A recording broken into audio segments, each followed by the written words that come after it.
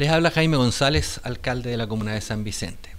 Respecto de la pandemia del coronavirus, que son muchos los factores que nosotros tenemos que abordar, uno de ellos es el examen para detectar el coronavirus.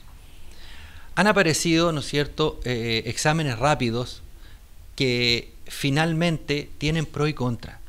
Eh, la Ceremi de Salud eh, nos ha indicado a nosotros que el, el de los test rápidos tienen un factor de riesgo de no ser precisos. Tienen un, un error de alrededor de un 30 a un 40%.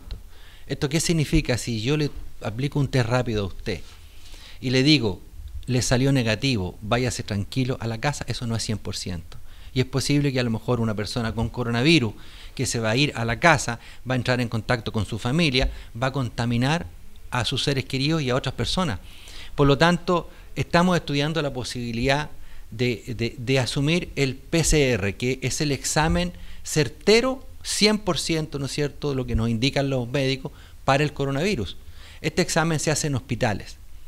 Tiene un tiempo de demora, pero es el único examen certero, así que estamos nosotros estudiando la posibilidad de que como municipio hagamos el PCR, ese examen, para que tengamos una certeza mayor de si es sí o es no la posibilidad de que usted esté contagiado.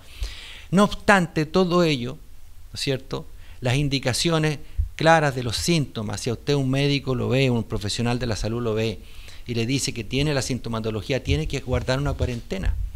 Ese es el mecanismo, mientras no tenga la certeza, la única manera de proteger a su familia es eh, la cuarentena. Así que todo lo que estamos diciendo es importante, pero lo fundamental es que usted asuma las conductas necesarias si tiene síntomas de aislamiento y si no los tiene, también tiene que tener los recaudos de lavarse las manos permanentemente, si sale a la calle, de dejar la ropa, ¿no es cierto?, que ocupó y, ponerse otra ropa en la casa.